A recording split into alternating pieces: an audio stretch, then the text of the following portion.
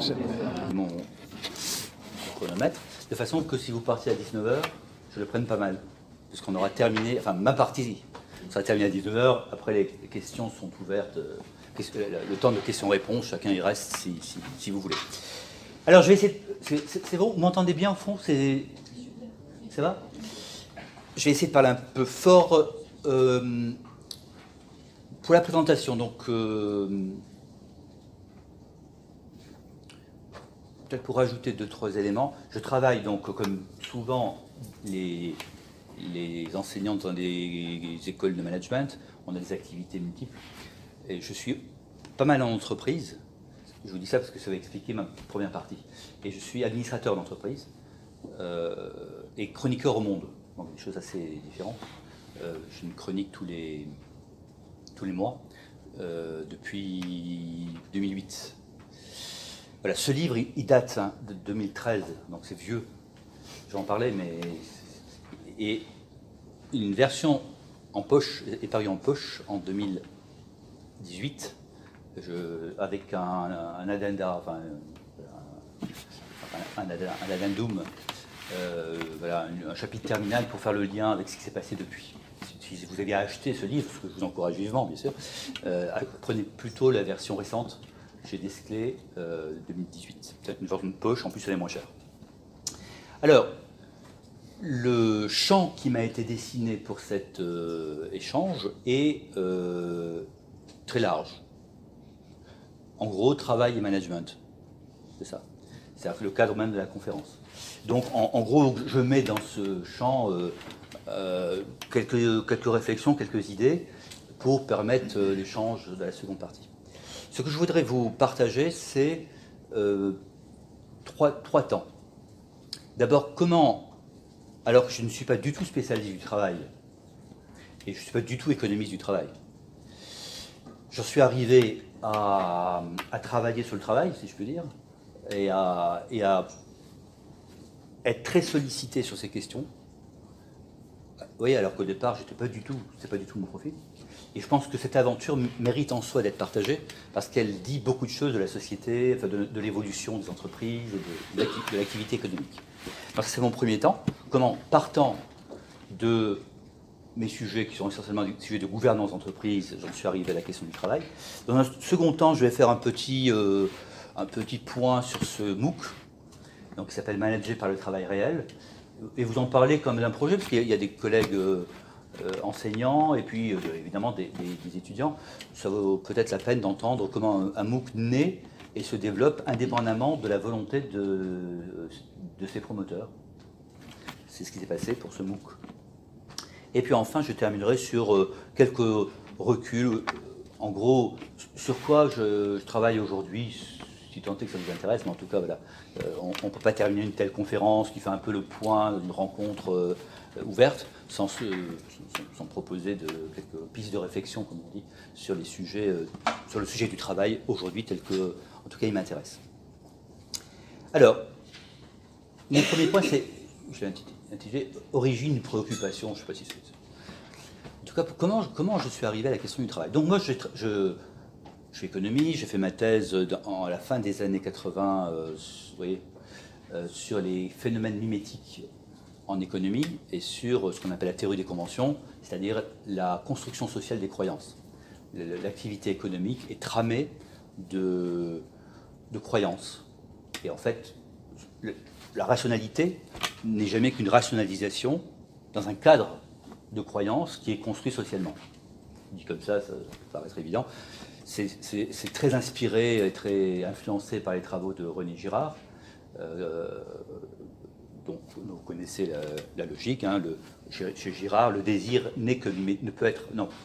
Une, part du désir est mimétique, c'est-à-dire je ne désire jamais qu'un objet qu'au moins une autre personne désire. Je ne peux pas définir tout seul mon désir en fait. Pour qu'il y ait un objet du désir, encore faut-il qu'il y ait un autre sujet qui est le même objet du désir. Et donc on, est, on entre euh, plus fort. Euh, N'hésitez pas, parce que la, la voix va tomber évidemment avec le temps. Alors, les- ces deux jeux du désir, de, c'est mieux, hein je, je hurle le, l'objet du désir, enfin c'est quand même curieux. Euh, l'objet du désir n'est possible, enfin n'est compréhensible que s'il y a un, un- un autre qui a le même, le même désir pour le même objet, et donc nous entrons en rivalité, puisque tout désir suppose une rivalité sur le même objet, dont le triangle le plus célèbre, c'est le mari, la femme, l'amant. Le, mari aime d'autant plus sa femme qu'elle a un amant dans les, la, la, rhétorique, les récits euh, bourgeois du XIXe siècle. Systématiquement, il y a ces trios, qui est un trio où le désir est mis en scène de cette façon-là. Donc ça c'est Girard, le désir, et moi j'ai essayé modestement, mais obstinément, à appliquer la même logique sur la raison. En fait, une large part de ce que nous... Euh, de la manière de raisonner, plutôt, le fait de donner une raison à une action, pour une large part, dépend de la raison que les autres donne à la même action. je ne peux pas définir tout seul si c'est bien ou si c'est pas bien, si la décision est bonne ou pas bonne, je ne sais pas. Elle est bonne relativement à ce qu'au moins un autre va euh, percevoir de la réalité et va me donner à voir de cette réalité. Exemple canonique, cette fois c'est pas le mari, la femme, l'amant, c'est euh, André Orléans, les phénomènes mimétiques en finance. Je pense que l'action Renault est surévaluée. Mais je pense que vous pensez tous qu'elle est sous-évaluée. Donc je pense que vous pensez tous qu'elle va monter. J'achète ou je vends? J'achète. Bien que je pense qu'elle est surévaluée, j'achète l'action. Parce que ce qui compte, ce n'est pas ma raison euh, substantive, comme on dit en épistémologie, substantive, moi tout seul dans mon île déserte, Robinson Crusoe. C'est la raison que je peux me donner du fait que vous-même agissiez au même moment. Et si on pousse plus loin cet exemple, imaginez que chacun d'entre nous pense que l'action est surévaluée, mais chacun d'entre nous pense que tous les autres croient qu'elle est sous-évaluée, tout le monde va acheter, alors que tout le monde pense qu'il faut vendre. D'où la fameuse phrase bien connue de Keynes, il vaut mieux avoir raison euh, il va avoir tort avec les marchés que raison contre lui. Donc le marché, c'est ça, c'est un phénomène mimétique. Donc moi j'ai essayé d'appliquer ça, ça s'appelle la théorie des conventions, et j'ai travaillé, euh, et je travaille toujours. Je crois que toute ma carrière a été, depuis 30 ans maintenant, 32 ans, a été euh, fondée sur une seule idée. L'économie ne se comprend et ne se déploie vraiment que si on tient compte de phénomènes des croyances. Rien n'est plus religieux que l'économie religieux au sens euh, du religio, ça nous relie et ça fait, ça fait reliance, ça, fait reliance et ça fait reliance par rapport aux mêmes objets. Voilà. Mon dernier livre, qui s'appelle donc, euh, qui est paru en, octobre, L'esprit malin du capitalisme, est une nouvelle variation sur ce même thème, montrant comment nous croyons tous que la spéculation est horrible et nous agissons tous de façon à réaliser la spéculation. Et c'est pour ça que la spéculation se réalise et nous bénéficie à titre personnel. Voilà, donc, ça c'est, ma, ça mon thème. Croyance, lien entre croyance et raison, en fait. Alors, ce thème, je l'ai particulièrement travaillé sur la place de l'entreprise dans, la société. Avec une thèse, euh, là aussi, depuis 30 ans, c'est, la même idée. Je ne suis pas l'homme de beaucoup d'idées. C'est la même idée. L'idée, c'est que la société libérale qui naît, on va dire, au XVIIe siècle qui s'impose au XVIIIe siècle, est une société qui est fabriquée, fondée sur l'entreprise. L'entreprise, c'est l'institution de référence. L'État n'a été qu'un passage, qu'un moment, l'État-nation n'a été qu'un moment nécessaire pour l'émergence d'un système économique qui est fondé sur l'entreprise comme institution et en particulier la grande entreprise bureaucratique comme institution. Ça, j'essaie de le montrer euh, par tous les, là aussi les, différents livres que j'ai écrits ou articles, tous les différents points de vue, euh, jusqu'à ce que euh, l'État devienne, enfin l'État se pense, alors je, je, parle avec devant des collègues universitaires, se pense de plus en plus comme une grande entreprise lui-même, et que euh, les, grands, les, grands, les grands présidents sont des managers. Trump, Berlusconi, Macron, pour reprendre une trilogie que euh, Pierre Musso vient de décrire magnifiquement dans un livre que je vous invite à lire si vous ne l'avez pas fait, qui s'appelle L'État-entreprise. Donc voilà, l'entreprise est devenue le, le, l'institution qui fait la société. Vous voyez, c'est l'institution qui fait, qui fabrique la société. Les objets que nous fabriquons, le temps de travail, le rythme de travail, l'intensité du travail, le type de relations sociales, les, avancées sociétales, enfin tout ça, c'est l'entreprise qui, le fabrique. À l'intérieur de cette question, je me suis intéressé depuis 1995 à la question de la gouvernance. Si les entreprises sont si importantes que ça, si c'est elles qui fabriquent la société, là nous avons un invité surprise. Bonjour madame. Ah, ce sont les entreprises qui fabriquent la société, ça me paraît bigrement important de savoir comment se, crée, se produit, se reproduit, se légitime le système qui gouverne les entreprises. Qui a le droit de gouverner Google? Alors je pense cet exemple d'entreprise euh, à, très forte puissance, mais EDF ou quel droit de gouverner ces entreprises? Ça se fait comment ce, gouvernement?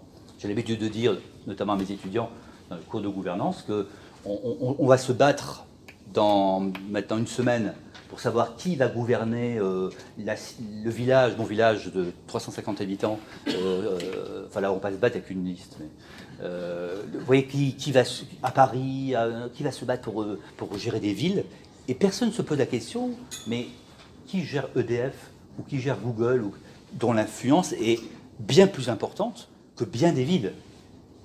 J'ai pris le cas de Paris, Marseille, Lyon, d'accord, mais vous avez des villes moyennes, il y a, bien sûr, il y a une importance à, exercer la fonction des deals, évidemment. Mais je veux dire, l'influence sur la société est, moins grande que qui prend le pouvoir chez Renault, qui prend le pouvoir d'une entreprise qui va être vendue et dont une partie des actifs va être, euh, euh, perdue pour une nation, pour un, territoire. Tout ça, ça nous paraît évident qu'il euh, y, a sûrement une raison économique.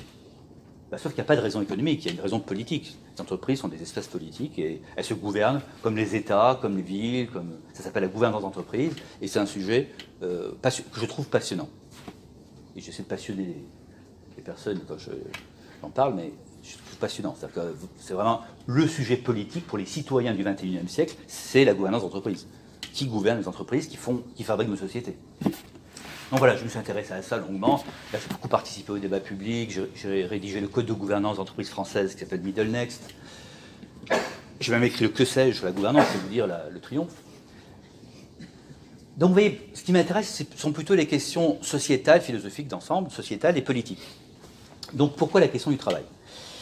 Je vous l'ai dit, j'interviens beaucoup en entreprise. Et dans les années, à la fin des années 2000, j'avais été frappé par un phénomène qui était à cette époque-là euh, naissant et qui est devenu aujourd'hui, on, va y, revenir si vous voulez, qui est devenu majeur, c'est pas une blague quand on le dit, c'est les difficultés à travailler en, entreprise. On en parle, on a, toujours réticence à parler de souffrance au travail, terme que j'aime pas parce que euh, ça, connote le travail comme étant un lieu de souffrance par nature, ce qui n'est pas vrai pas une souffrance par nature. Reste que, on ne peut pas nier, et vous êtes en entreprise, vous, côtoyez les entreprises, on ne peut pas nier qu'il y a un sujet aujourd'hui, qu'il y a une, vraie crise du sens, du travail, c'est vrai. Et donc ça, je l'avais perçu, euh, après, après 2005. Ça se sentait des entreprises. Alors moi, j'intervenais en gouvernance, hein, conseil d'administration, euh, président, direction, stratégie, je de la stratégie. Et là, je, quand même, c'est pas le sujet. Et quand je, voilà, je me suis intéressé à cette question, je, déroulais en, bon économiste le fil, c'est de comprendre pourquoi le travail est devenu si douloureux. Et donc j'en suis arrivé à cette thèse qui donc, qui est le sujet du livre Le travail invisible, que je vous résume en, pour vous spoiler le livre, de façon que vous n'achetez pas, vous voyez, mais quand même acheté la version de poche. Euh, la thèse est la suivante. En fait, euh, à, partir de 1970, on change de capitalisme. On passe d'un capitalisme accumulatif à ce que j'appelle dans mon dernier bouquin un capitalisme spéculatif. Pour quelle raison? Si je vous le fais en bref, c'est que d'énormes quantités d'épargne des ménages vont être concentrées sur les marchés financiers. Pourquoi? Parce que les retraites dans beaucoup de pays, États-Unis d'abord, Angleterre, pays scandinaves, puis Japon et Chine, les retraites de ces pays sont financés par capitalisation. Et ce financement, il date pas du début de l'histoire des retraites aux États-Unis, il date de 1974, très exactement, lorsque la loi ERISA oblige les fonds de pension qui étaient liés aux entreprises à sortir des entreprises et à placer l'argent des retraités dans des entreprises qui n'ont pas de lien avec, les épargnants. Ça va être l'explosion des marchés financiers, tout ce qu'on connaît aujourd'hui. Hein. Et cette explosion, elle a, une cause première qui est le détournement de l'épargne des ménages qui étaient placés dans leurs propres entreprises pour créer des fonds de pension dédiés aux entreprises et qui va être placé sur les marchés financiers. Big Bang, New York, 1979, Londres, 85, Paris 85, et puis toutes les places vont exploser, c'est-à-dire qu'on libéraliser parce qu'il faut, vous avez des, quantités énormes d'argent. On, me pose très souvent la question en ce moment, je, suis pas mal dans les médias et on me pose la question, alors la crise, est-ce que vous pensez que la crise actuelle, que le, coronavirus, c'est la crise que, vous attendiez de votre bouquin, etc. Et bien, la réponse sur la même, il y a tellement d'argent sur les marchés, vous n'imaginez pas, il y a tellement d'argent que tout est possible. C'est-à-dire que les courbes peuvent remonter et dans, trois mois, on va, rebattre des, on va rebattre des, des records, comme on l'a fait, vous savez, il y, a, il y a un mois, on a battu les records euh, de cotation. Mais pourquoi? Parce qu'il y a très peu d'entreprises cotées, il y en a à peu près 10 000 dans le monde, il y a énormément d'argent. Donc euh, l'argent tourne, et ça spécule, donc les prix montent. Donc voilà, ça c'est le point de départ, je le fais en bref.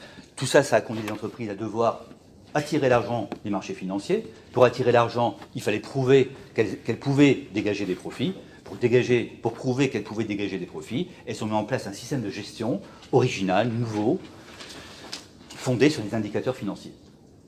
Ça, ça date pas du début de, l'entreprise, hein, ça date des années 80. Donc, un système de gestion fondé sur des indicateurs financiers, cherchant à traquer à quel moment des chaînes de production ont créé de la valeur, dit pour l'actionnaire, enfin oui, on crée, on crée du profit, si vous voulez. Et donc ce, traquage a conduit à multiplier les écrans et les ratios. Pour ceux qui, celles d'entre vous qui sont en entreprise, vous voyez ce que je veux dire, à partir des années 80, alors en université, euh, dans les écoles, on passe d'un système de gestion très qualitative à un système extrêmement quantitatif, quantifié, avec, des ratios, pour traquer euh, la création de valeur. Ça a des avantages et des inconvénients, je ne porte pas de jugement, je, je constate un phénomène. Et donc l'entreprise est devenue un tableur que j'appelle l'entreprise tableur. C'est-à-dire qu'en fait, euh, moi, je, raconte cette anecdote vécue, hein, j'étais dans le TGV, un grand patron du CAC 40 s'assoit à côté de moi avec son équipe, il y avait trois, trois jeunes. Un grand patron que, dont je tairai le nom, vous connaissez, très connu, qui est, dans le retail, qui, est, qui est dans, le, dans le, la vente. Donc euh, voilà.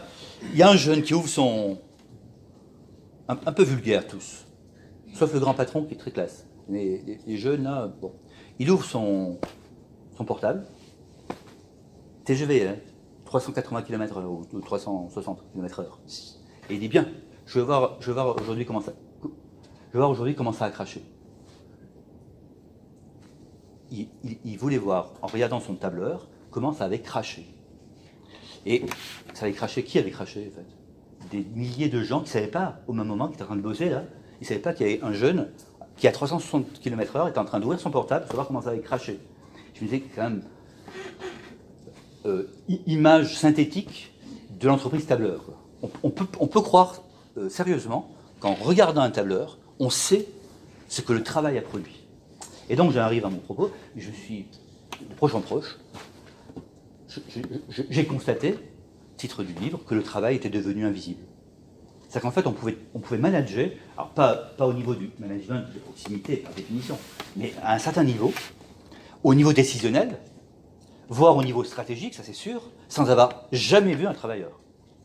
Je vais vous donner un, exemple tout à l'heure euh, vécu là encore. alors, bien sûr, on peut le constater, faire un coucou.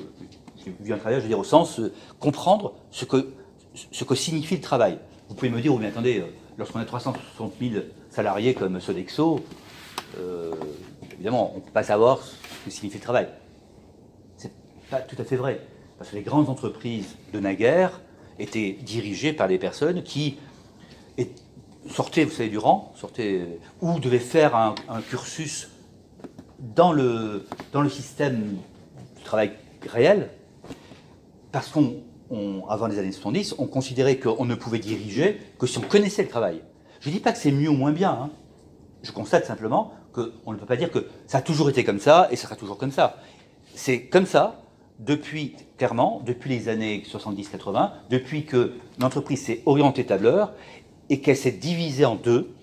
Il y a l'entreprise d'une d'une direction qui oriente et qui, et qui a le nez sur les tableurs et sur les, comptes rendus, hein, les, les reportings, enfin, ce qu'il faut donner à l'extérieur, notamment au marché.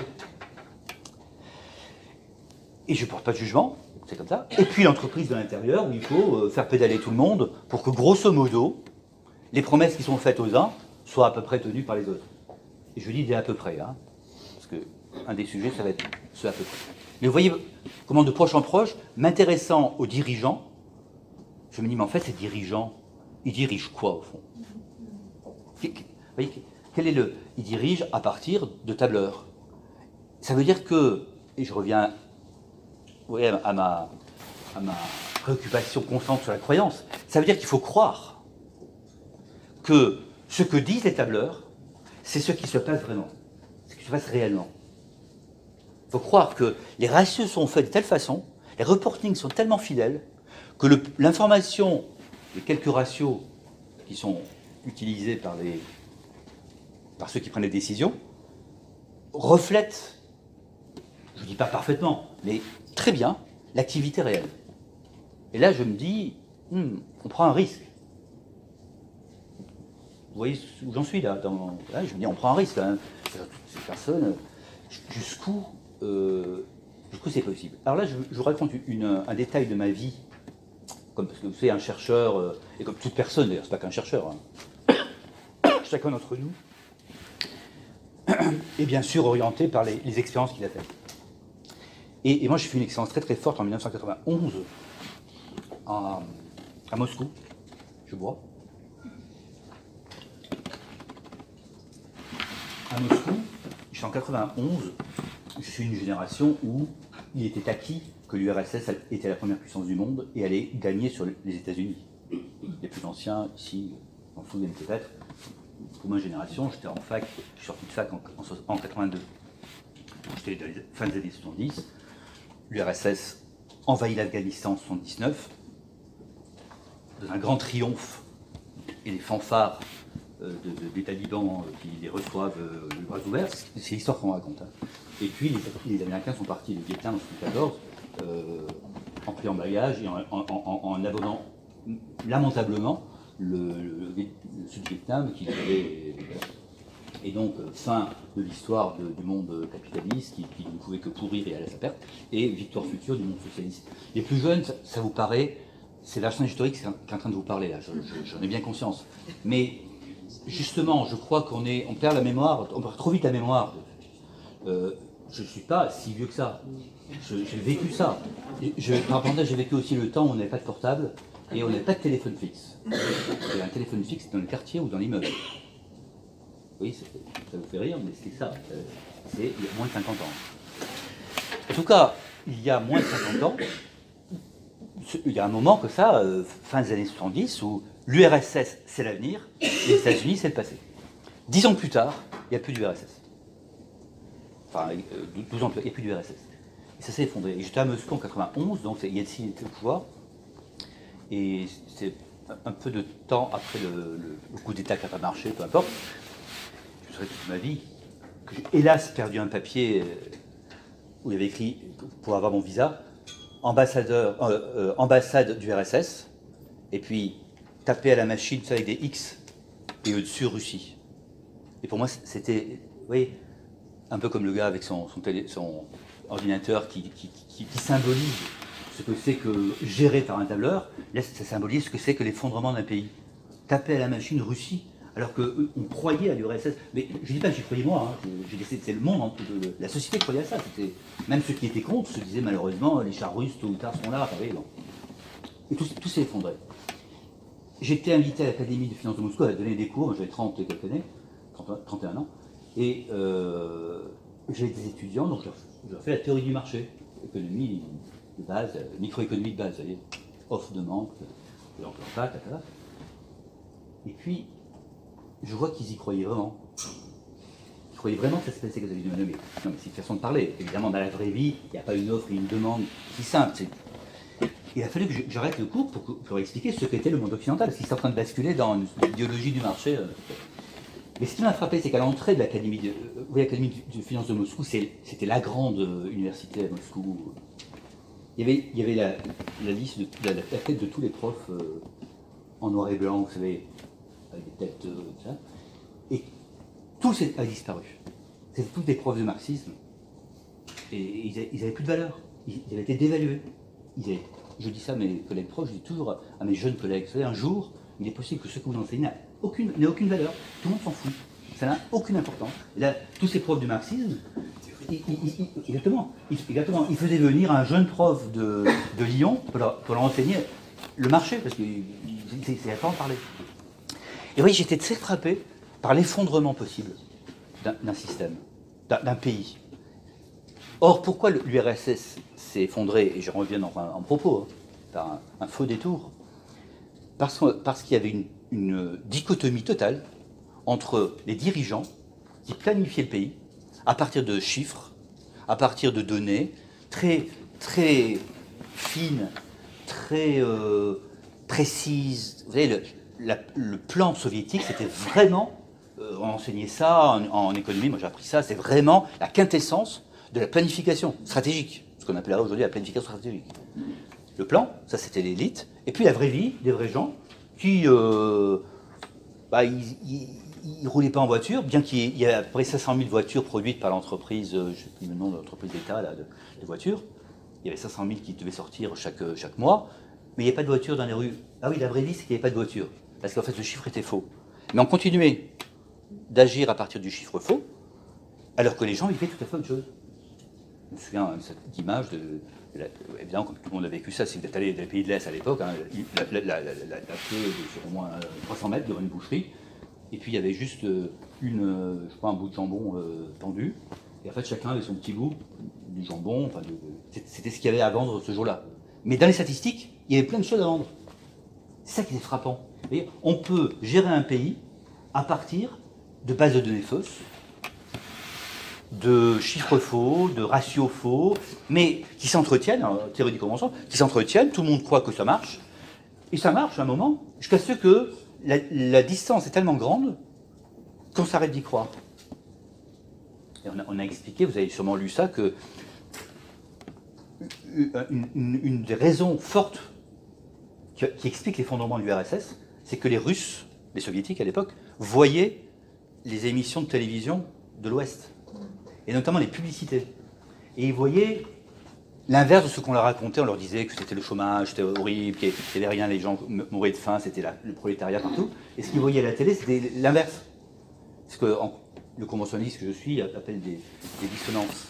Qu'il y a une dissonance entre le, le contact que vous voyez et ce qu'on vous dit. On vous dit, ils sont pauvres, et vous des gens riches. Ils sont pauvres, ils sont pauvres. Vous dites, euh, ou me mentent, ou c'est mes yeux qui me trompent.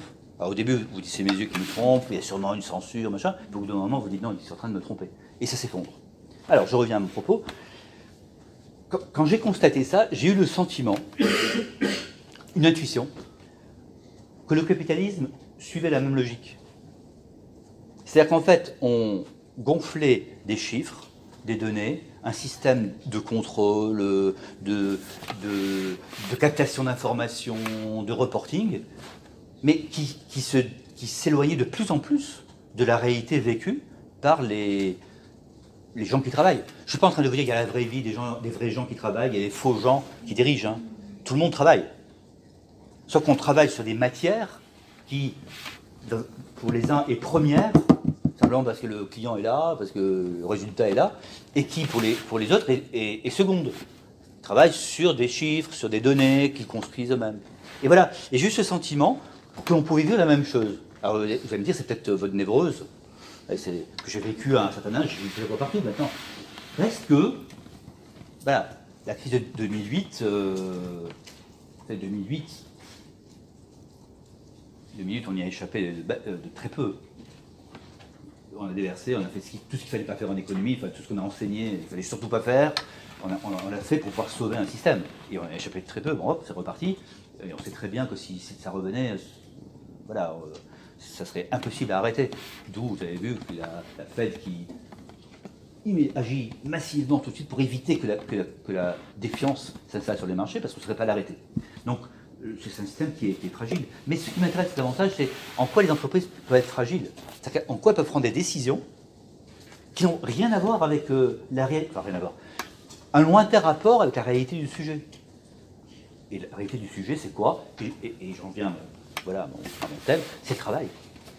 En fait, ce qui m'est apparu là, et c'est pour ça que ça, s'est même passionné comme la gouvernance, c'est que le travail est un sujet qu'on ne traitait plus au niveau de la gouvernance. Le travail est un sujet qu'on ne traitait plus au niveau de ceux qui dirigent. C'était un non-sujet. Le sujet, c'était les résultats, c'était la performance, c'était le résultat du travail, mais le travail lui-même, ça n'intéressait personne. Et même plus que ça, c'était mis à, distance par les ratios, par les écrans, d'où le titre Invisibilisation du travail. Le travail doit rester invisible c'est l'affaire des managers de proximité, c'est l'affaire de, des gens qui, s'auto, qui sont autonomes, qui s'autogèrent, qui se. Voilà. Mais donnez-moi du résultat, parce que moi je m'intéresse au résultat.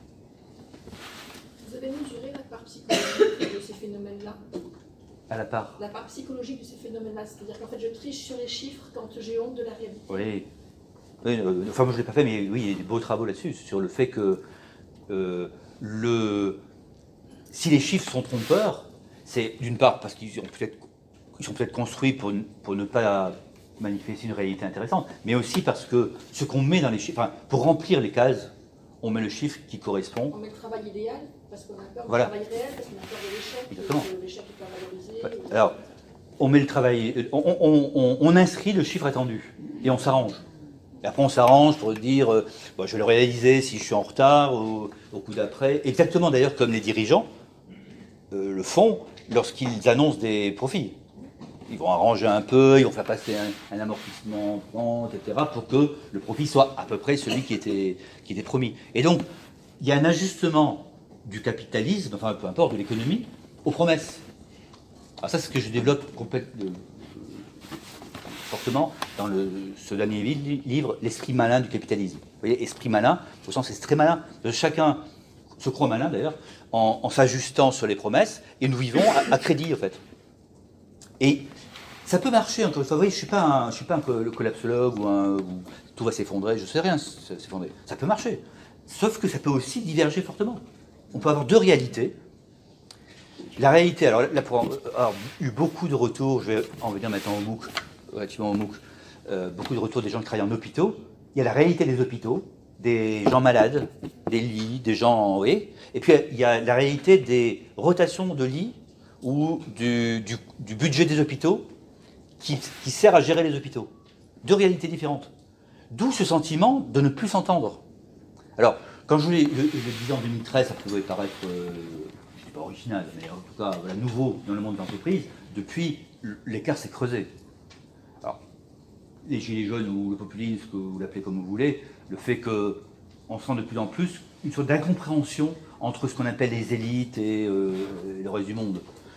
Il faut être très prudent avec ces, notions, parce que voilà, il faut les manipuler avec prudence. Mais reste que cette, opposition, elle, elle aux yeux quand on est en entreprise. Il y a, clairement deux mondes, quoi, et, qui n'ont pas... enfin, un des mondes, celui de, la direction, n'a pas envie de rencontrer l'autre, parce que c'est très compliqué. Parce que toute sa posture, sa, position a été fondée depuis 30 ans par le fait de ne pas rencontrer l'autre, de ne pas rencontrer le travail, de ne gérer que par la performance. Donc voilà comment je suis arrivé au travail et comment je suis arrivé au travail, vous voyez, par l'économie. Et euh, bon, cri de misère quand même. Je reviens à. Je suis en entreprise, j'entends cette souffrance au travail et, et je l'interprète comme ça. Il n'y a pas de souffrance due au travail il y a une souffrance contextuelle due à cette situation de travail, à ce contexte de travail-là, où de plus en plus, le sens du travail tel qu'il est vécu, tel qu'il est réalisé, et le sens du travail tel qu'il n'est pas pensé, en tout cas tel qu'il est orienté, divergent. Et donc on ne sait pas où on va, on a cette impression partout, voilà, de perte de sens. Bon, tout ça, ça, renvoie, comme dit Ricard, à des cris, des cris de misère ou des cris de souffrance. Et notre, rôle de citoyen, de philosophe, d'intellectuel, c'est d'écouter les cris. la société, on entend par les cris. Qu'est-ce qui ne va pas Les souffrances. Donc à partir de ces cris, qu'est-ce qu'on peut faire? Bon, Moi, j'écris des livres, je ne vais pas changer le monde, évidemment. Mais quand même, je me dis, mes étudiants, les managers, est-ce qu'il n'y a pas quelque chose à faire pour, euh, pour rappeler que la gestion, c'est la gestion du travail? C'est pas la gestion des chiffres, c'est la gestion du travail. Ça peut utiliser des chiffres, mais c'est toujours ordonné au travail. Alors, deuxième partie, le, MOOC. Je suis euh, membre du conseil scientifique de l'ANACT, l'Agence nationale pour l'amélioration des conditions de travail, depuis quelques années. Et là, je rencontre des gens excellents, qui connaissent très bien le travail. Il y a beaucoup d'ergonomes. Très intéressant. J'en parlais tout à l'heure avec le, directeur de l'Institut national du travail. Les ergonomes, c'est très intéressant en entreprise parce que ce qui les intéresse, c'est le travail concret. L'ergonomie, ça fait mal au dos, quoi s'il s'intéresse aux, conséquences sur le corps. Mais c'est la posture de travail. On est dans le corps au travail. Et donc il y a beaucoup d'ergonomes à la natte, et j'entends ce qu'ils racontent, je dis, mais c'est vraiment passionnant ce qu'ils disent. Ça serait bien que mes étudiants ils l'entendent. Mieux, ça serait bien que mes dirigeants, je dis, je suis dans les conseils d'administration, qu'ils entendent ça. Qu'ils entendent des gens parler du travail, peut-être qui se fait, avec les soucis du travail, de la qualité de vie au travail, ce que ça veut dire. En rencontrant des personnes, je rencontre des gens vraiment très très bien, et nous partons dans l'aventure d'un MOOC. Donc, un MOOC, vous voyez ce que c'est, un petit cours de, petit cours de 15 heures, 15 heures, hein, où on doit, euh, on doit porter un message gratuit, ça va être gratuit, donc en ligne, euh, gratuit et euh, ouvert à tous. Gratuit en termes d'argent, mais aussi ça va être ouvert à tous, tout le monde peut, doit pouvoir s'inscrire à un MOOC, c'est le propre d'un MOOC. Bon, et on se dit, tiens, ben, on, va, on va lancer, du côté militant, nous allons lancer un MOOC, euh, je trouve un peu d'argent, ça, demande pas mal d'argent si vous voulez, comme on discute euh, avec mes amis euh, universitaires, ça se fait pas comme ça, c'est entre 30 et 40, 000 euros d'investissement. Hein. On travaille et on essaie de, voilà, et, on, et, on, lance ce MOOC. Alors ce MOOC, je, vous invite à le suivre si ça vous intéresse, c'est gratuit donc, et ouvert, hein, vous pouvez y aller. Prochaine session le 15 mars euh, quatre grandes parties. La première partie raconte ce que, reprend ce que je vous ai raconté là rapidement, hein, les, grands, les grandes étapes de la financiarisation, pourquoi le travail disparaît, pourquoi, pourquoi le manager n'arrive, on ne lui demande plus de manager du travail, mais de manager des chiffres et des reportings. Et ensuite, on a deux intervenants d'un acte qui donnent des outils pour voir le travail, des, outils d'ergonomie d'ailleurs, pour voir le travail, pour le, les, déterminants du travail, pour, gérer concrètement à partir du travail réel tel qu'il se, se, fait. Et dernière séquence, je reviens et, euh, on, fait zoom arrière sur l'organisation. Quelles sont les organisations qui favorisent un management par le travail réel, ce qu'on appelle le management par le travail réel, c'est-à-dire le management à partir du travail tel qu'il se fait, pas tel qu'il s'imagine, mais tel que ce que font les gens. Donc on lance ce MOOC, un petit peu pour faire amitié avec euh, l'ANACT, un petit peu pour euh, être expérimentaux. Hein. Je vais vraiment aucune ambition, sinon euh, que ça existe et peut-être que des gens le suivent et soient contents. 8000 personnes le suivent. Donc il a, démarré il y a deux ans. petite publicité, on n'a presque rien fait. Mon école est rentrée en crise à ce moment-là. bon, on a d'autres préoccupations, il n'y a pas eu de publicité. Ça s'est fait par bouche à oreille. Et on a été obligé de faire une deuxième session, et puis donc quatre sessions par an. Euh, et c'est maintenant, euh, ça tourne. C'est-à-dire que c'est une sorte d'université ouverte de 15 heures, hein. quatre sessions par an. Et avec des retours incroyables de gens qui. Euh, moi, je trouve ça. je pensais que c'était. ce que je disais là était une évidence. On manage à partir du travail. Non, des managers qui disent merci, notamment beaucoup dans le service public d'ailleurs. Merci de nous rappeler que notre rôle, que notre métier, c'est de manager à partir des gens, du travail. Parce que est, on est devenu manager pour ça, parce qu'on sait qu'on écrase, ce que vous disiez tout à l'heure, hein, euh, on, sait que les ratios, les, chiffres écrasent la réalité, et nous, ce sont souvent des managers de proximité qui suivent le MOOC, hein. nous, on voit bien qu'on triche, on voit bien qu'on trompe, on voit bien qu'on donne des mauvais chiffres, qu'il faut s'ajuster, qu'il faut sans arrêt faire semblant de... Donc merci de nous rappeler ça, merci de nous...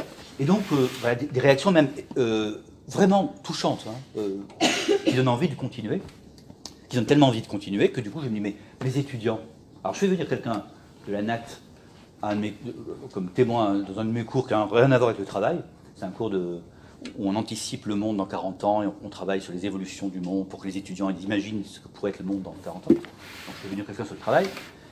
Et à la fin, j'étais très troublé par une, étudiante qui vient me voir et me dit Ah, merci d'avoir fait venir cette personne. C'est la première fois dans notre cursus qu'on nous parle du travail. Je dis Vous n'avez pas de cours sur le travail? Eh ben non, on nous parle de. Bah, en, RH, on va parler de. Je sais pas, des carrières, des, politiques de valorisation, oui, mais du travail, jamais. En finance, évidemment, jamais. En marketing, ben non, c'est le produit, mais le travail, ce que font les gens, je me suis dit, mais en fait, c'est pas enregistré, si.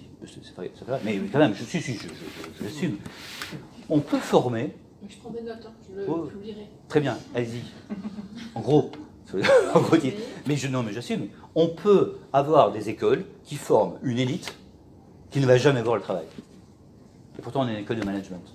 Et je, dirais la même chose dans, les IAE. Dans, on, on c'est nous les responsables de ce que je dénoncer là, les, les machins, les, les ratios. Mais, qui en est responsable sinon Les écoles qui forment justement des, des personnes qui vont jamais rencontrer. Vous expliquer pourquoi, si vous voulez. Ah, au moment des questions-réponses? Quand ils seront tous là.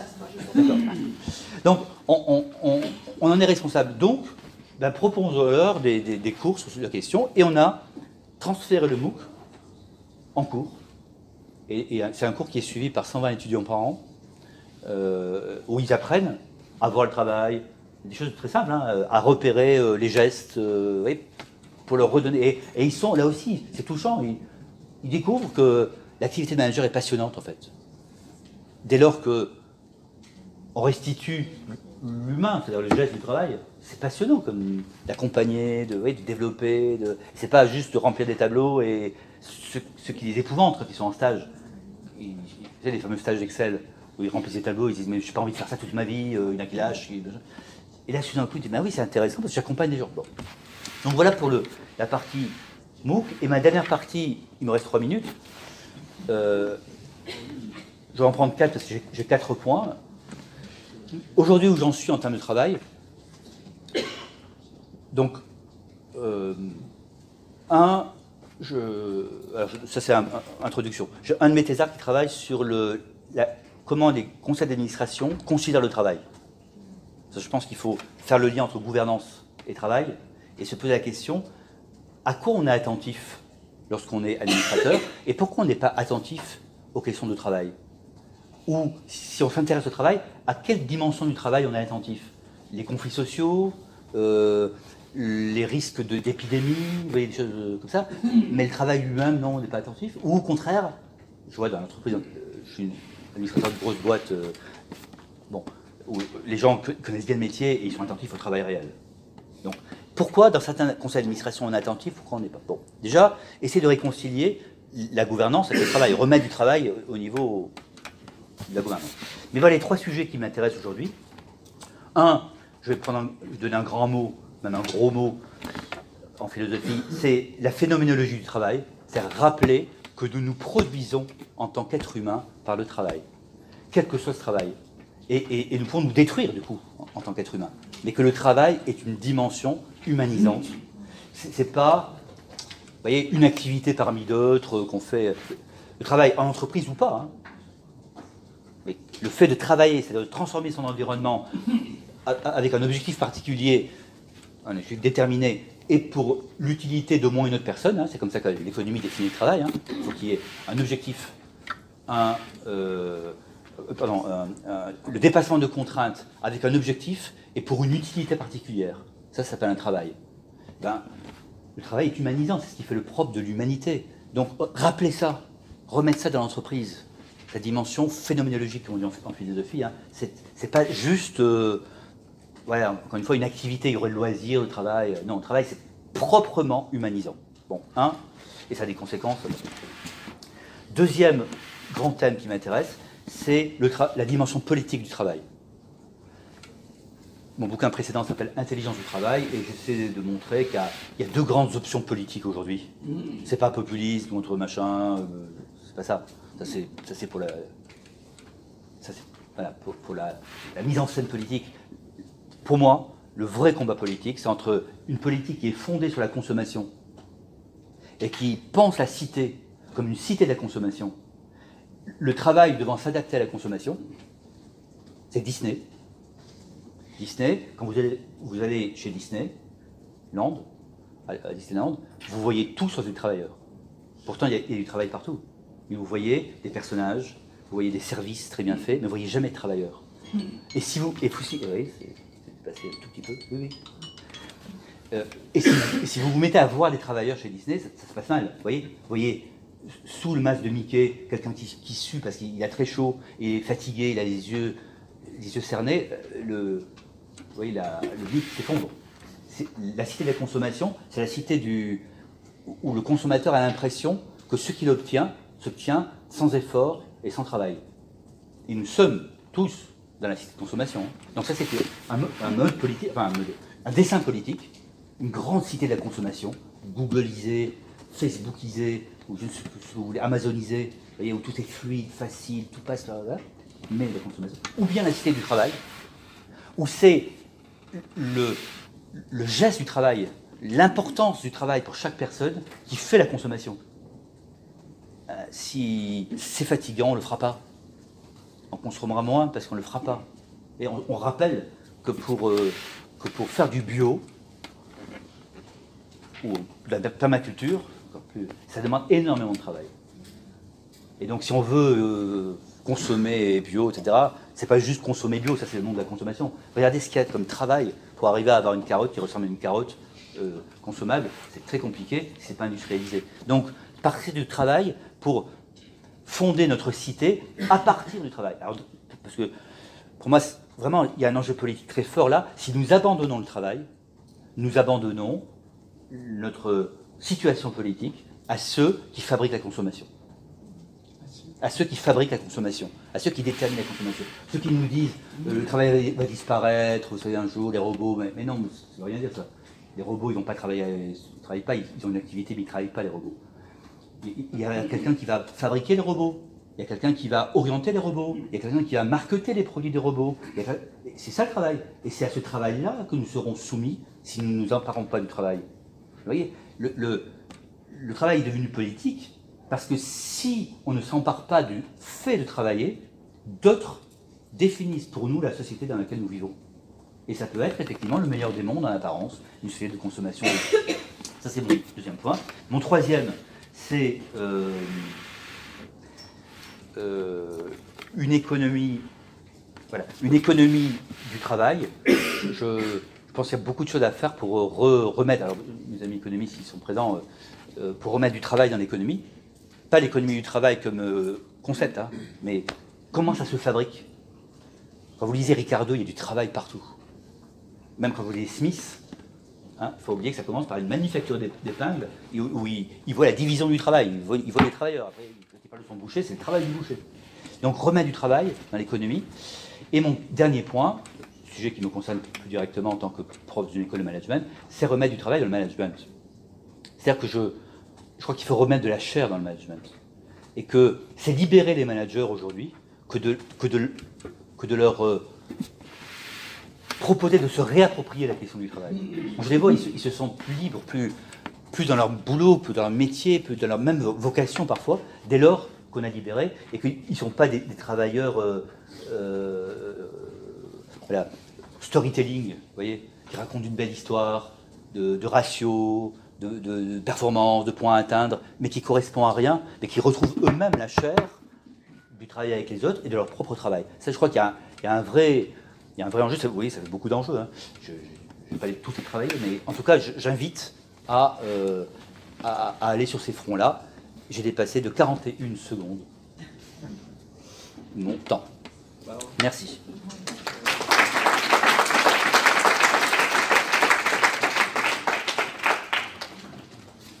Alors, non, excusez-moi, c'était de 3 minutes, c'est pas de 48, je me suis trompé. Avant de partir, une anecdote oui. en en 1991, dans, en 1991, j'intervenais dans une grande entreprise de la région parisienne qui s'occupe de transport. Je ne citerai pas le nom. Euh, et on était en train, la direction venait de changer, la direction générale, et elle mettait en place un système de gestion par les, objectifs, par les objectifs et par les tableurs. Et donc on était en janvier, je rencontre le directeur qui s'occupe de toute la maintenance et il me dit voilà, vous allez être content, j'ai rempli mes tableaux. Et il pose et il dit est-ce que vous voulez voir les tableaux jusqu'en décembre? Qu'on va présenter à, mon, que je vais présenter à l'équipe de direction en février, en mars, en avril, et il avait pré-rempli tous ces tableaux pour l'année. Hmm. Voilà. Le, paradoxe, c'est que, alors qu'on a dit qu'on est dans une économie très libérale, autonome, c'est la période où on est rentré en même temps, parce qu'il y a eu ça aussi, hein, une économie extrêmement planifiée.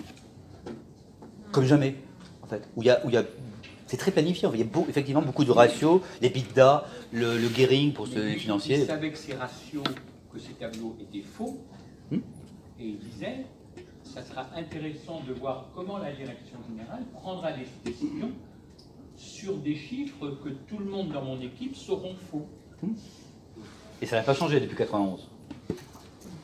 Bon, on, prend peut-être deux, trois questions euh, à la volée euh, pour euh, Pierre Gomez avec peut-être des réponses flash. Flash. Du temps. José. Oui, je suis d'une génération antérieure à la vôtre. Oh. Et il m'a manqué, il m'a manqué une distinction classique du temps de l'économie politique entre travail abstrait et travail concret. Parce que je ne pense pas du tout que les détenteurs du capital se désintéressent du travail. Ils ne s'intéressent qu'au travail abstrait, puisqu'il est producteur de valeur. En effet, le travail concret ne les intéresse pas, mais en revanche, créer les conditions de production de la valeur à travers une forme abstraite du travail qui se mesure, les classiques déjà parlaient de la mesure, ça, ça les intéresse beaucoup. Et je pense que si on ne fait pas cette distinction, on ne sait pas comment argumenter votre interrogation, que je partage tout à fait, la dichotomie. Mais du coup, on est dans l'indécidable. Ça peut être aussi bien l'effondrement que la suraccumulation. C'est pour ça qu'il faut faire cette distinction. Hmm. oui, j'entends pour avoir. Je, vois à, quel, à quoi vous faites référence, enfin, à quel, à quel espace théorique, j'entends tout à fait. Euh, Ricardo. Euh, tout à fait, non, mais tout à fait. là, là, l'argumentation est entre, économistes. Quand je, quand je dis ne s'intéresse pas au travail, c'est que même le mot travail, dans ces sphères-là, vous l'entendez jamais. Oui, c'est. Euh, on n'est pas. Euh, là, dans le management. Le mot, c'est étonnant. Hein. Le mot travail, on pas. On, va, parler d'activité, de compétences, de savoir-faire éventuellement, mais alors pour le coup, c'est abstrait au, niveau 2, là, c'est au carré, parce que c'est même pas travail, enfin, c'est travail abstrait, mais réinterprété, retraduit en termes, en mots abstraits eux-mêmes. Savoir-faire, compétences. Alors quand, c'est pas aujourd'hui, euh, euh, ah, le, mot la mode, c'est euh, haut potentiel. Oui. C'est ça qui sont là. Quoi un haut potentiel, haut et potentiel, c'est vraiment d'où le abstrait là. On est tout à fait d'accord. Mais c'est intéressant, effectivement, en économie, ça permet de, Ouais, alors une là et une au fond après. Allez-y. C'était juste pour savoir exactement ce que vous entendez par travail abstrait et travail concret en fait. Pour. Enfin, vu que moi je ne suis pas de votre génération, Ah, mais monsieur, il est de Ricardo, hein.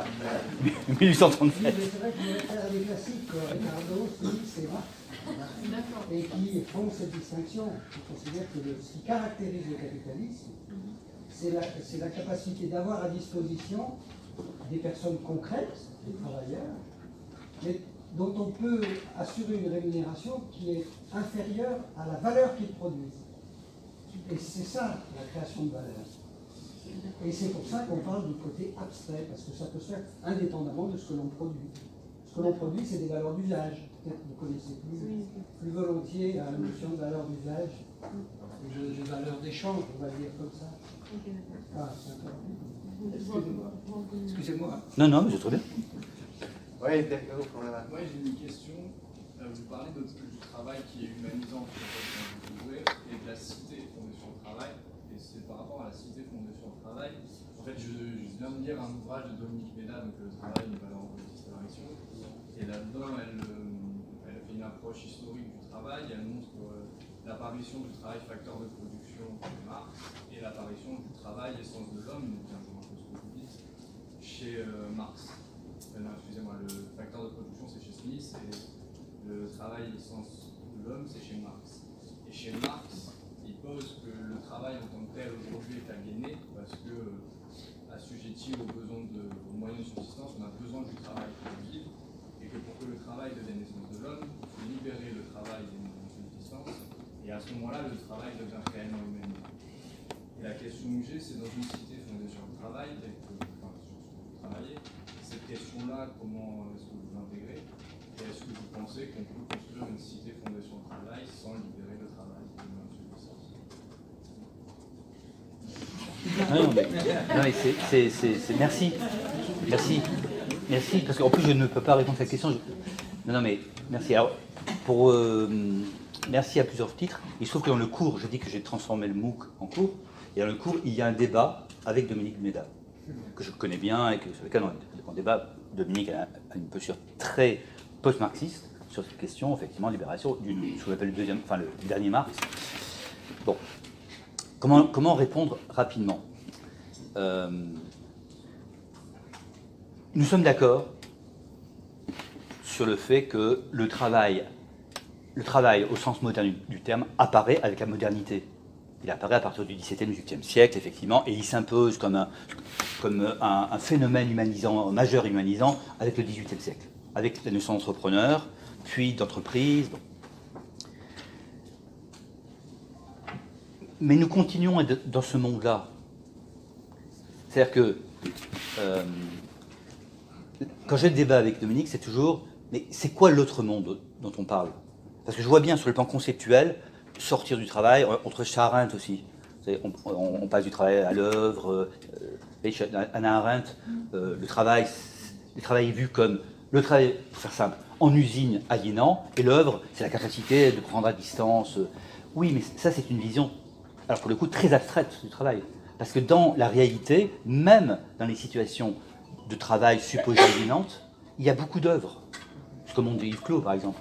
Il y a beaucoup d'œuvres, il y a, beaucoup de, de tours de main, il, y a, une culture ouvrière, par exemple, où, on, sait faire des choses et on les transmet de génération en génération. Donc, il n'y aurait pas, vous voyez, le noir et le blanc, le travail, usine, aliénant, sale, euh, fatigant, et puis à côté, l'activité euh, libre de, euh, toute subordination, même au goulag, pour avoir si vous voulez, même au goulag, il y avait des espaces de travail qui étaient, qui étaient ce qu'Arendt appelle l'activité, de, de créati- de création. Même là, parce que c'est humain. Alors, ça c'est sur la dichotomie que je trouve exagérée.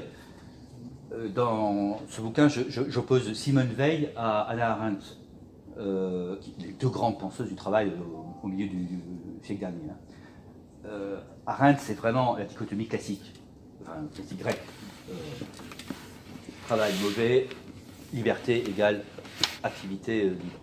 Alors que euh, Simone Veil, qui a travaillé en usine, elle, voit bien que le travail, c'est aussi épanouissant. Parce que si je m'empare des outils de travail, si je m'empare de la, façon d'organiser le travail, alors il y a, beaucoup d'espace d'épan- d'épanouissement, comme le forgeron qui avait ses propres outils de travail. Donc ça le voit et elle le théorise magnifiquement. Vraiment, c'est la grande théoricienne du travail du XXe siècle, c'est Simone Veil. Donc ça, c'est différent. Après, il y a un autre sujet, c'est la subsistance. Parce qu'effectivement, l'aliénation suprême, c'est pas tant le travail lui-même que le fait que le travail est ordonné à la subsistance. Ça, c'est Marx, et c'est nous tous. On, le vit on aimerait tellement faire autre chose si on n'était pas obligé de. Sauf que la subsistance, là aussi. Alors, je- je- j'entends, et je, suis le premier à, effectivement, dire il faut, euh, euh, il faut tenir compte de cette dimension. C'est pas aussi simple que. euh, alors, pour le coup, à la Ricardo, il y a une répartition euh, automatique des, des, revenus qui font que la question des subsistances ne se pose pas. Évidemment, elle se pose dans les pays sous-développés, où on a délocalisé, elle se pose pour certaines catégories, bien sûr. Pour autant, ça va, être, un peu compliqué ce que je vais dire, mais cette question de la subsistance, il faut la réintégrer dans l'économie. C'est une question qui est socialement construite, la subsistance. Ça, c'est Marx aussi. hein. C'est- bien sûr qu'il y a la subsistance immédiate. Je ne mange pas, je meurs. Les, besoins, élémentaires. Bon. Mais si on, va, supposer qu'on a dépassé ce, moment-là. La subsistance, c'est quoi? C'est la consommation. Et cette consommation, elle est construite socialement. Donc, si je suis dans la cité de la consommation, je vais être beaucoup plus euh, aliéné par la consommation que si je suis dans la cité du travail, où je ne vais travailler que pour ceux qui vaut la peine en termes de subsistance, en termes de... C'est clair ce que je dis? En fait, merci, parce que vous êtes au cœur de, ce que j'essaie de, dire sur le fait de se réapproprier le travail et de ne pas le laisser. Parce qu'il n'y a pas un lieu où on laisserait le travail. Quelqu'un travaillerait à notre place, ou quelqu'un produirait à notre place. Et donc quelqu'un nous conduirait à consommer. Parce que c'est le travail qui va déterminer la consommation. Euh, je suis désolé, moi je pense que l'offre précède la demande et que si on n'invente pas des produits, il n'y a pas quelqu'un qui les demande comme ça partant de rien. Donc c'est bien l'offreur qui va être maître du jeu. Or l'offreur, il va s'appeler Google, il va s'appeler Facebook, il va s'appeler ce que vous voulez, il va s'appeler les grandes entreprises, et c'est lui qui va déterminer le travail. Donc si je ne m'approprie pas le travail dans, les entreprises, et dire non, là je suis fatigué, on n'ira pas plus loin, et eh ben, on ne poudra pas plus. Et eh ben, la société de la consommation va s'ajuster à ce que l'effort de travail peut faire. Mais si on dit, bon, le travail, laissons faire des robots, ça, pourvu qu'on consomme, ben, on sera aliéné par la consommation. Moi, je crois, voilà, pour vous dire en un mot, je crois, par rapport à Dominique Méda, que l'aliénation par la consommation est plus dangereuse et plus forte que l'aliénation par le travail.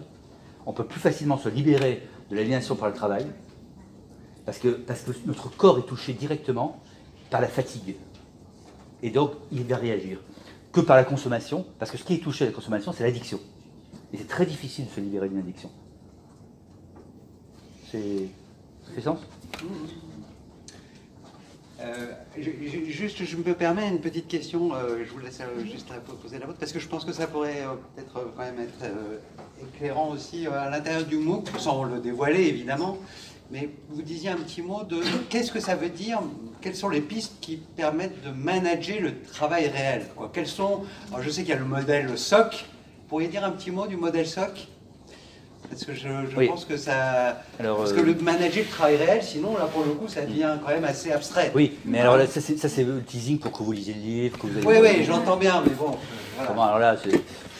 Alors, SOC, le travail a trois dimensions subjectif, objectif, collectif. Quand on travaille, il y a toujours un sujet qui travaille, il y a toujours un objet du travail, il y a toujours un collectif du travail qui va définir les règles, les règles du travail. Donc, le modèle SOC, c'est toujours ces trois dimensions. Et si je manage sur le travail, j'apprends, on apprend dans le MOOC, dans le, dans le cours, à repérer ces trois dimensions. Quelle est la part du sujet qui travaille, qui va fabriquer cette bouteille C'est une personne qui a fabriqué, qui a... Bon. Et puis il y, a un objet, c'est la bouteille, c'est aussi est important. Et puis il y a aussi du collectif qui définit bah, l'usage d'une bouteille, qui fait travailler ensemble. on, on, aura tous ces trois dimensions, et c'est l'équilibre de ces trois dimensions qui rend pathétique ou au contraire euh, euphorisant le travail. Ça, c'est une dimension. L'autre dimension, c'est d'apprendre à repérer euh, les contournements, par exemple. Un grand classique de l'ergonomie, ça. Hein. Les, contournements, c'est le fait de. J'ai une injonction, je dois fabriquer 10 bouteilles, mais évidemment, je ne fabrique pas exactement comme on le dit, parce que je sais que si je, je la pose de façon différente, je vais aller un peu plus vite. Mais ça, personne ne me l'a dit. Je vais, je vais je vais contourner. Pourquoi Pour gagner un peu de temps. Parce que grâce à ce temps gagné, je vais pouvoir soit me reposer, soit aller fumer une club, soit euh, au contraire travailler un peu plus et gagner un peu plus d'argent. Je fais ce que je veux. Mais il y a plein de contournements. Euh, Observer les signaux faibles de type euh, maladie. Le, travail, encore une fois, ce que je, beaucoup dans le travail, c'est que c'est phénoménologique, c'est un corps qui s'exprime toujours, même, le travail abstrait, le, pardon, pas le travail abstrait, le travail virtuel, le travail devant des écrans, c'est très physique. On a mal aux yeux, on, a mal aux épaules, c'est fatigant. Au contraire, c'est euphorisant, on a le sourire. Donc c'est physique. Or, la façon dont le travailleur témoigne la limite du travail, c'est toujours la défaillance du corps, la santé. donc, euh, je, suis, fatigué, premier temps, je suis malade, deuxième temps, je pars en burn-out, troisième temps. C'est-à-dire, je disparais, j'explose. trois, temps. Donc, voyez, je peux les dire, il y a des, outils comme ça, très, très concrets, pour euh, réapprendre, le, enfin réapprendre, réensemencer dans le métier de manager ces évidences de bon sens euh, aussi, hein, qui, consistent à, voir, à voir que les gens travaillent. Hein. vous donne une petite anecdote comme ça pour euh, détendre, si vous êtes tendu. Je, suis, je suis sorti d'un fonds d'investissement de gens éthiques. C'est un fonds d'investissement éthique. Ils me voir, est-ce que vous voulez rentrer au, au conseil du fonds éthique Ah, on parle. On sort de ce- oui, belle valeur. On sort de leur bureau magnifique et on passe euh, la porte. Et puis il y avait une personne derrière le comptoir et je dis euh, au revoir madame.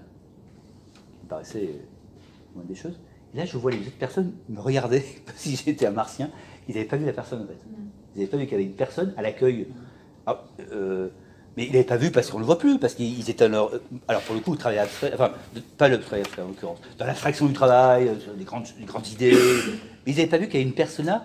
Et je me dis, mais qu'est-ce qu'elle fait cette personne dans votre fond? Qu'est-ce qu'elle fait?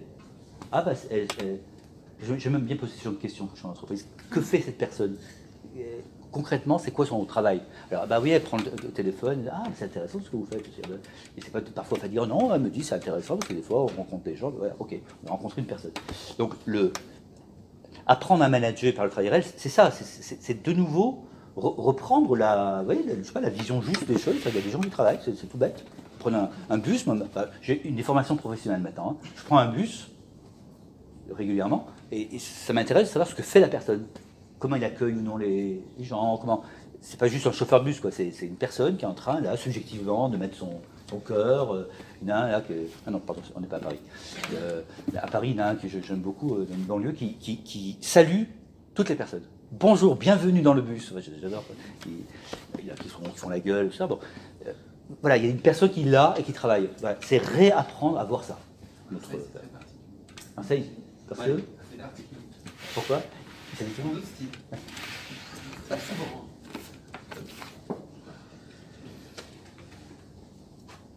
On prend une autre question Oui, euh, juste là, et après peut-être. euh, moi j'interviens, enfin, je, ma posture c'est je suis chercheur en sciences de l'éducation, docteur, et euh, euh, j'ai essayé pendant tout, tout votre discours d'essayer de poser vos, vos objets dans mes cadres de référence et c'est extrêmement intéressant. Donc, mes sujets de recherche actuellement c'est l'employabilité.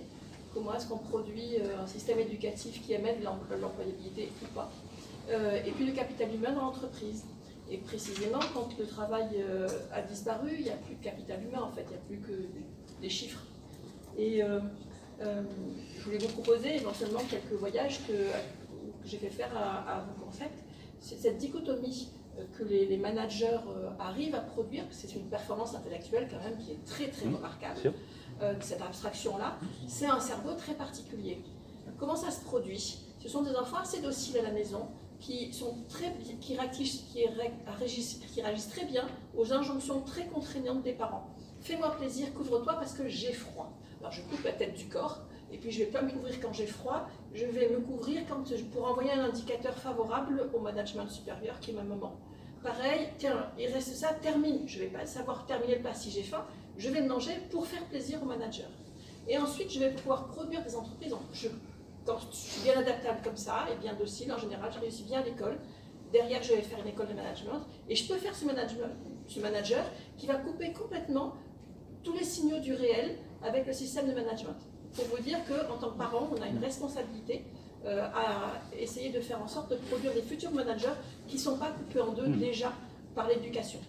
Euh, et ça, se réduit très vite. En cinq semaines où on se met à l'écoute des gens, on leur dit non mais dis-moi, on va couper la, la- clim centralisée, chacun peut régler sa clim dans son bureau et peut retrouver ses sensations de j'ai froid, j'ai pas froid.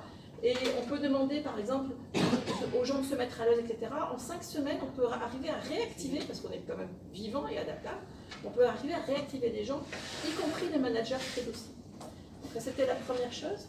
Ensuite, euh, je ne sais pas si vous connaissez Flichy avec cette question des, des praxis, euh, des bonnes pratiques qui sont très intéressantes. Euh, cette question du, plaisir. Ce qu'on voit, c'est que quand, euh, le- le- quand vous dites que le travail est ordonné à la, à subsistance, moi je vous propose le concept de viabilité. La théorie de la dynamique, de, complexes et où la théorie de la viabilité est très intéressante parce que ce qu'on voit, c'est que les gens vont prendre du plaisir à être autonomes, à être inventifs, à être audacieux, à prendre des initiatives, etc.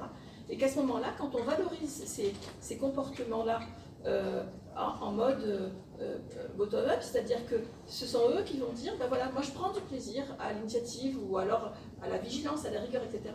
plutôt que d'aller mettre des indicateurs où on va aller compter le nombre d'objets ou des trucs comme ça. Et donc, des indicateurs de performance, c'est extrêmement bon. Il n'y a pas de gouvernance sans indicateurs de performance, à condition qu'ils soient éventuellement co-construits et qu'on puisse dire quelle est votre valeur ajoutée dans le système en tant que personne qui contribue à l'organisation avec son capital humain.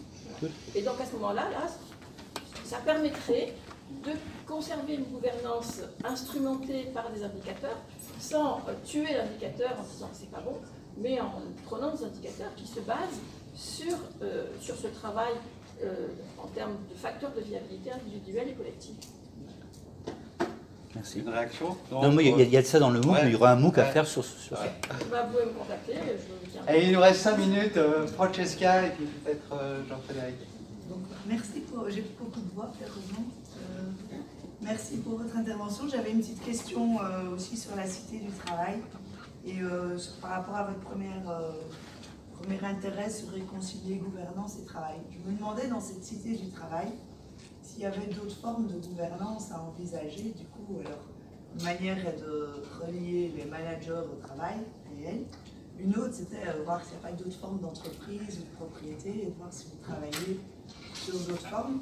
Je dis ça pour faire un peu de pub pour le master ESS de, de cette université. On a été visiter Scopti, qui est euh, une, une reprise euh, de l'usine des Fralides de thé euh, ici à Génios, où on a été visiter l'usine avec les étudiants. On fait jamais ça dans les, des masters, entrer dans une usine et ils sont super parce qu'ils nous ouvrent leurs portes. Et là, c'était impressionnant de voir des gens qui sont devant une machine, à voir que les boîtes de thé euh, se ferment bien, tout ça. Passionnés, les yeux, euh, voilà. Mais parce qu'ils se sont réappropriés le travail. C'est à eux aussi. Ils sont aussi dirigeants de leur entreprise. Et donc je me demandais si dans la cité du travail, vous étudiez d'autres formes de gouvernance, de, propriété, du coup, euh, typiquement. euh, Alors, que la bi- bien sûr. On reconnaîtrait un peu mieux, mais les enjeux financiers resteront là. On ne va pas changer le monde euh, ni le capitalisme tout de suite. Alors, je- non, ça c'est sûr. Mais euh, oui, bien sûr, hein, bien sûr. Bien sûr qu'il y a un lien avec l'appropriation du travail, il y a quelque chose à dire évidemment à l'appropriation du capital, des des moyens de production, à quel niveau, jusqu'où, etc. Mais mon, point aujourd'hui, qui est un point d'engagement militant, si je le dis comme ça, c'est que euh, il faut d'abord se réapproprier le travail on, met trop vite en avant les formes, les formes de, de propriété du capital. Et j'ai vu, dans d'autres lieux où ça marche moins bien, des formes de propriété du capital qui étaient euh, différentes que le capitalisme, avec séparation du capital et du travail, et qui ne donnent pas de meilleurs résultats, parce qu'on ne sait pas mieux approprier le travail. Et que euh, ceux qui dirigent sont des managers de scope, par exemple. Et les managers de scope, ils sont très loin du travail parce qu'eux, ils ont eux-mêmes leurs propres outils. Donc, euh, et ils sortent en plus d'école de management, donc de double péché. Non mais, oui, donc c'est pas pour le, c'est pas pour le, pour, pour le, le négliger au contraire. Je pense que c'est- très important, mais que il faudrait pas que ça masque. Euh, euh, Isabelle Ferrara, vous, vous voyez donc, euh, là aussi grand débat, mais je pense que Bon, la- mon désaccord avec, avec Isabelle défend l'idée qu'un bicamérisme, qui est représentant des parties prenantes à côté des actionnaires, etc. Pour, pour traîner depuis maintenant presque 25 ans dans ces milieux-là, je ne suis pas sûr que ça change grand-chose. Parce que le- la vraie transformation, ça sera lorsque il y a des indicateurs qui remontent au conseil d'administration, quels qu'ils soient, et où c'est aussi important de considérer le travail que de considérer un résultat financier. On en est loin aujourd'hui, mais regardez ce qui s'est passé en, ESS ou en RSE ESS. oui, c'est ça. Euh, ce qui est passé pour le- l'environnement, l'environnement physique. Il y, a, il y a 20 ans, personne n'aurait pensé qu'en conseil d'administration, on, puisse avoir euh, le souci de certains indicateurs qui paraissaient, qui faisaient rire au début. Aujourd'hui, c'est important. Je, ne- désespère pas que des indicateurs liés au travail deviennent importants. En tout cas, moi, c'est ce qui me motive. Parce que c'est comme ça qu'on fera remonter. Ça n'empêche pas qu'on re- on repense. Mais la note de bas de page, la transformation des modes de gouvernance et de la propriété, elle est de toute façon inscrite dans l'histoire pour plein de raisons économiques. C'est-à-dire qu'elle elle atteint sa limite aujourd'hui. Donc, euh, même si ce n'est pas lié à la question du travail, elle atteint sa limite. parce que pour toute raison, on l'a un peu bloqué. hein, de- Aujourd'hui, le capital euh, euh, de connaissances, enfin, le capital euh, intellectuel est tellement important dans la production que c'est très compliqué de faire le lien avec le capital financier. Donc, on le fait encore par, convention et habitude, mais évidemment que, que vaut une entreprise si on- voilà, si on ne tient pas compte de ce, cap- ce capital-là. Donc, euh, euh, même, même, même en dehors de notre question du travail, euh, déjà, je pense qu'il y, a il y a une réflexion à avoir sur les, sur les formes. Mais je, une dernière question, parce que je pense que... Oui, deux secondes. Deux secondes, je réponds une Par rapport à ces indicateurs, euh, je rebondis sur la question de la co-construction des indicateurs. Ouais. Parce qu'aujourd'hui, il y a des indicateurs, mais c'est des indicateurs sur le travail des autres. Grosso modo, un patron de l'école de commerce, euh, il, il a des bons résultats si, par exemple, maintenant, classements, il y a un bon.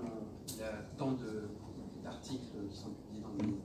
dans des- Il y a surtout un salaire à la sortie, euh, c'est ça qui compte le plus. Salaire à, salaire- salaire à la sortie Non, des... son école soit bien construite, Oui, mais salaire à la sortie des étudiants, ça c'est Voilà, mais 1, le salaire, 1%. mais ça n'a rien à voir avec son activité. Oui, oui, non, mais C'est pour aller de un- retour. C'est des indicateurs sur les Ouais. et, et, et donc ils sont pas ils sont co-construits ni dans un sens ni dans Ouais. l'autre. C'est-à-dire que le, le patron est, est- est, est évalué sur des indicateurs qui n'ont rien à voir avec ce qu'il fait.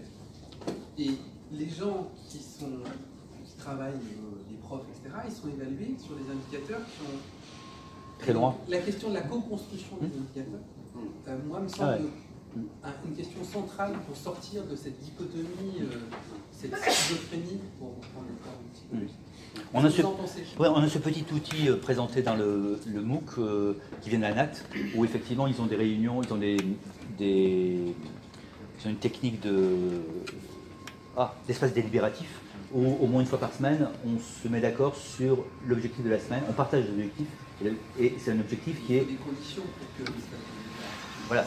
Et euh, il y a espace délibératif et espace délibératif. hein. Il y a, l'espace délibératif où quelqu'un vient parler et expliquer qu'il faut faire. Et puis il y a un espace délibératif où chacun, c'est le, plus beau que j'ai vu fonctionner, euh, on, en parle dans le, dans, le- MOOC, et ils ont mis en place un truc où, chacun explique ce qu'il va faire dans la semaine. Ben, rien que ça, c'était un vrai apport. Parce qu'on entend ce que l'autre fait, pas, pas, l'objectif, ce que l'autre doit faire. Et, ça- ça crée des équipes. euh, Alors j'avais écrit un papier dans Le Monde là-dessus, hein, une chronique, et il y a un, un chef d'entreprise qui, qui m'a écrit en disant C'est super votre idée, euh, je la mets en place euh, dans mon entreprise dès demain. Bon, non, je suis Pourquoi on peut être simple. Faut qu'on s'arrête, on va se faire gronder par euh, le- voilà, les gens qui travaillent. Je ne sais pas si vous entendez, mais il y a un aspirateur, il n'est pas automatique à mon avis. Donc euh, merci beaucoup Pierre. Merci à vous. Merci à vous tous et bon retour. À la prochaine fois. Non mais c'est bien parce que ça fait. Il y a le train aussi.